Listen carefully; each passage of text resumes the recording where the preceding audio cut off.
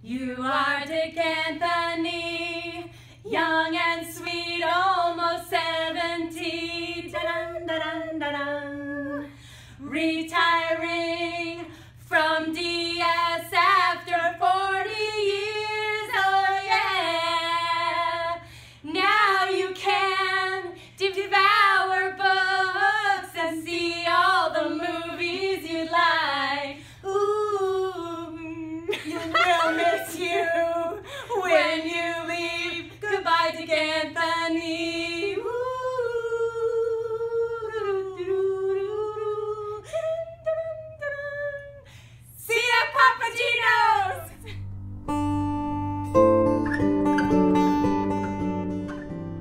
as long as I can remember, Mr. Anthony has been a topic of conversation in my house, and that's because I think either nine or ten of my relatives have had him since he started working at Derryfield, which is pretty crazy.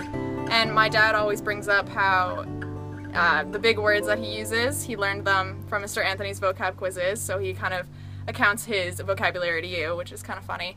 My whole family has a lot of memories with you, and we're really gonna miss you. And you've taught us so much, and you've helped me uh, foster my love for English. So thank you for that, and we're gonna miss you, Mr. Anthony. Hi, Mr. Anthony.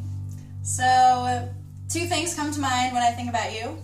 One, um, I will never forget the definition for complacent. It's smugly satisfied with oneself.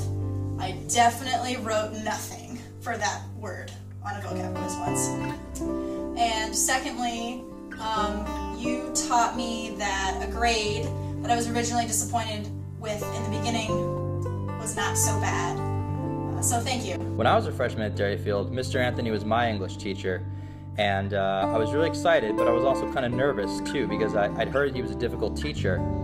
Uh, and looking back on it now, you know, I realized that that was a really, really good thing because the bar was just set so high, and it really pushed me, challenged me to kind of explore my limits and and learn to think really profoundly about some of these issues that would come up in books, whether it was about um, you know social issues or uh, religion or what have you, that uh, I never really thought about before. And to this day, he's still one of the most influential people, um, not just as a teacher, but as a person, really, that uh, I've ever met in my life, including in college. And so um, I'm really sad to see him go. Derryfield's never going to be the same without him. Uh, he really left his mark on that place, definitely for the better. And, um, you know, he just, uh, I'll never forget him. He'll always be remembered. He'll always have a special place in Derryfield uh, and definitely in, in my family. So thank you, Mr. Anthony. Hi there, Dick.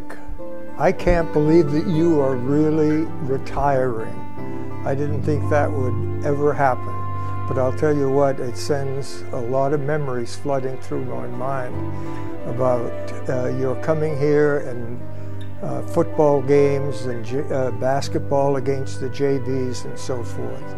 I just wanted to say I'm going to miss you a lot and I want to thank you for everything that you've done for me since I started here including uh, intimidating me, scaring me, and making me fearful to come to school every day. Thank you, Mr. Anthony, for providing some comic relief. Mr. Anthony taught me to never introduce myself as, for those of you who don't know me, my name is Hannah Kelsey. Mr. Anthony's spontaneous sports analogies that he makes to let us, to make us learn the material. I'm gonna miss Mr. Anthony's sarcasm and humor and despite the fact he always makes fun of me and I seem to always be the butt of his jokes, I'm going to miss it. But what I really like most of all, besides my daughter Diane taking care of your cat on vacations, uh, was uh, kids that would come into my office, advisee or one of my students, and say, I was just in Mr. Anthony's class, and you know what? I think as the discussion went on and his questions came, that he read a different book than I did. And they could never quite put the two together. I'm probably gonna miss his like brutal honesty, um, but definitely a sense of humor. Um, I liked Mr. Anthony's awesome personality in classes. He was pretty funny made some good puns. Uh, my favorite Mr. Anthony memory is the first day that I interviewed at Derryfield and Mr. Anthony was responsible for walking me from the auditorium up to the main office and uh, he spent that time intimidating me, scaring me, and telling me uh, that I would never get this job. So thank you for that. Um, but we're gonna miss your kindness, your wisdom, and everything you've done for the school. Thank you. My favorite Mr. Anthony memory has to be the day that he revealed his true identity. He is actually the Hulk. Sorry to blow your cover, mister. But then I would go off to, uh, let's say, Middlebury or Skidmore or somewhere and visit with students out there and get talking with them. And one of the first things they said, you know what, Mr. Sanborn, I'm so glad I had Mr. Anthony uh, in English to help me learn how to write and to think. Uh, and uh, they would say, I'll be forever grateful uh, to him uh, for uh, turning me into a scholar.